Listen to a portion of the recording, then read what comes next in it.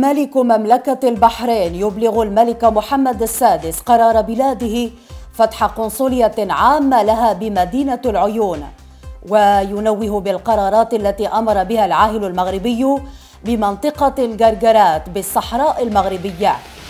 دوليا البرلمانيون الليبيون المجتمعون بطنجة المغربية يتوصلون إلى البيان الختامي للمشاورات الذي سيتلى غدا بحضور وزير الشؤون الخارجية المغربي ناصر بوريطة. وفي النشرة أيضا تتابعون كرة القدم الأفريقية. الأنظار تتجه هذا المساء إلى العاصمة المصرية القاهرة ونهائي دور الأبطال بين الغريمين المصريين الأهلي والزمالك. مشاهدينا أهلا وسهلا بكم إلى نشرة الأخبار من قناة كافانكا تيفي بطنجة أعلن بلاغ للديوان الملكي أمس الخميس أن الملك محمد السادس تلقى اتصالا هاتفيا من الملك حمد بن عيسى آل خليفة ملك مملكة البحرين. ويندرج هذا الاتصال في إطار ما يربط البلدين من علاقات أخوية صادقة وتقدير متبادل كما يعكس نهج التشاور والتنسيق الدائم بين القائدين وما يجمع البلدين الشقيقين من تعاون مثمر وتضامن موصول. وبهذه المناسبة أبلغ الملك حمد بن عيسى آل خليفة الملك محمد السادس بقرار مملكة البحرين بفتح قنصلية عامة لها بمدينة العيون المغربية وأنه سيتم التنسيق بشأنها بين وزارتي الخارجية في البلدين. وخلال هذا الاتصال نوه الملك حمد بن عيسى آل خليفة بالقرارات التي أمر بها الملك محمد السادس بمنطقة الجرجرات بالصحراء المغربية والتي أفضت إلى تدخل حاسم وناجع لحفظ الأمن والاستقرار بهذا الجزء من التراب المغربي وإلى ضمان سياب طبيعي وآمن لحركة الأشخاص والبضائع بين المملكة المغربية والجمهورية الإسلامية الموريتانية. في خبر آخر صادق مجلس الحكومة المغربية أمس على مشروع قانون يقضي بأحداث صندوق محمد السادس للاستثمار. وفي هذا السياق أوضح وزير التربية الوطنية والتكوين المهني والتعليم العالي والبحث العلمي الناطق الرسمي باسم الحكومة السعيد أمزازي أوضح أن هذا المشروع يأتي تنفيذا للتعليمات الملكية الواردة في خطاب العرش الأخير والذي حدد التوجهات الاستراتيجية الكبرى التي ينبغي العمل على تنزيلها لتدبير الأزمة التي يعرفها المغرب بسبب جائحة كوفيد 19 المزيد في هذا التقرير ثريا الحسان مشروع قانون يقضي بأحداث صندوق محمد السادس للاستثمار هو ما صادق عليه مجلس الحكومة أمس الخميس برئاسة رئيس الحكومة سعد الدين العثماني.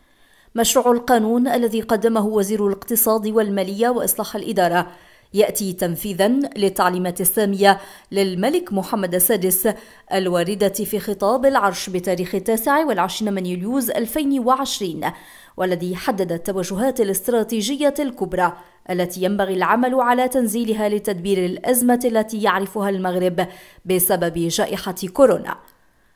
وزير التربية الوطنية والتكوين المهني والتعليم العالي والبحث العلمي الناطق الرسمي باسم الحكومة سعيد أمزازي أبرز عقب اختتام المجلس الحكومي أنه وبهدف إطلاق خطة الإنعاش الاقتصادي تقرر أحداث شركة مساهمة تحت اسم صندوق محمد السادس للاستثمار. خصص لها غلاف مالي يبلغ 15 مليار درهم من الميزانية العامة للدولة ويرأس الوزير المكلف بالمالية مجلس إدارتها. ويتمثل الغرض الأساسي للصندوق في الإسهام في تمويل المشاريع الاستثمارية الكبرى ومواكبتها على الصعيدين الوطني والترابي في إطار شراكات مع القطاع الخاص والمساهمة من خلال الصناديق القطاعية أو الموضوعاتية في رأس مقاولات صغيرة أو متوسطة. كما يروم الصندوق المساهمة بصورة مباشرة في رأس مال المقاولات العمومية والخاصة الكبرى الناشطة في المجالات التي يرى الصندوق أنها ذات أولوية وذلك عن طريق وضع أدوات مالية مناسبة من قبيل منحها تسبيقات وقروض قابلة للإرجاع وتمويلها بأموال شبه ذاتية. ويعتمد الصندوق في تدخلاته على صناديق قطاعية أو موضوعاتية حسب المجالات ذات الأولوية وحاجيات كل قطاع. ولا سيما في مجالات إعادة هيكلة الصناعة والابتكار والأنشطة ذات النمو الواعد والنهوض بالمقاولات الصغرى والمتوسطة والبنيات التحتية والفلاحة والسياحة. إلى جديد الوضعية الوبائية بالمغرب حيث أعلنت وزارة الصحة مساء أمس تسجيل 4178 إصابة جديدة بفيروس كورونا المستجد. كما أعلنت عن تعافي 5312 حالة شفاء و80 حالة وفاة وذلك خلال الأربع والعشرين ساعة الأخيرة. وأوضحت وزارة الصحة في نشرة كورونا اليومية أن الحصيلة الجديدة رفعت العدد الإجمالي لحالات الإصابة المؤكدة بالمملكة إلى 300 وأربعين ألفا وستمائة وأربع وثمانين حالة. بينما ارتفع مجموع حالة الشفاء التام إلى مئتين وتسع وثمانين ألفا وثمانمائة وثمان حالات فيما ارتفع عدد الوفيات إلى خمسة آلاف وستمائة وتسع عشرة حالة. نستهل مشاهدين الملف الدولي من الأزمة الليبية.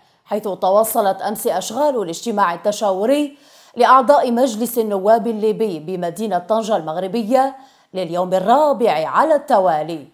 البرلمانيون الليبيون عكفوا يوما كاملا على تنقيح البيان الختامي للاجتماع والذي سيتلى غدا بحضور وزير الشؤون الخارجية المغربي ناصر بوريطة. نستمع في هذا الإطار إلى البرلماني الليبي سالم مسعود الجنيدي في تصريح خاص لقناة كاب 24 نتابع. إحنا هذا اليوم أنجزنا جميع الأعمال الخاصة بالمغرب ولهذا اليوم نقحنا البيان الختامي. وسيتم آه، تلاوته يوم السبت بحضور آه، وزير الخارجية المغربي إن شاء الله. وسننتقل يوم الأحد إن شاء الله إلى غدامس ونبدأ نستأنف دراسة بعض المواضيع من هناك. إلى الولايات المتحدة الأمريكية حيث قال الرئيس الأمريكي دونالد ترامب في حديث مع أفراد من القوات الأمريكية عبر الأنترنت بمناسبة عيد الشكر قال إن أعضاء المجمع الانتخابي سيرتكبون خطأ إذا صوتوا لصالح منافسه الديمقراطي جو بايدن. ولدى سؤاله عما إذا كان سيغادر البيت الأبيض في حال تصويت أعضاء المجمع لبايدن. رد ترامب قائلا إنه سيفعل ذلك من دون شك. وشكك ترامب مجددا في فوز بايدن مؤكدا أنه لم يحصل على 80 مليون صوت شعبي في الانتخابات التي قال إنها كانت مزورة. نختم مشاهدينا بالخبر الرياضي. ساعات معدودات إذن وينطلق نهائي النسخة السادسة والخمسين من دوري أبطال أفريقيا الذي سيجمع بين الغريمين كبيرا الكرة المصرية الأهلي والزمالك. في نهائي تاريخي مرتقب سيحتضنه استاد القاهرة الدولي بعد ساعات قليلة من الآن. وهذه أول مرة في تاريخ المنافسات القارية يلتقي فريقان من نفس البلد في النهائي ويسعى النادي الأهلي لإحراز لقبه التاسع بمسابقة دور أبطال أفريقيا لكرة القدم فيما يأمل الزمالك بانتزاع النجمة السادسة.